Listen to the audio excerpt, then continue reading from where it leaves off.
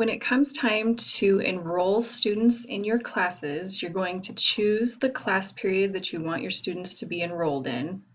Then click Students, choose Add Students, and we are going to enroll students with a code. Display this code on your whiteboard, have students go to this website, and then they'll be asked to enter in this code, and they'll be automatically enrolled in just that class period of your class.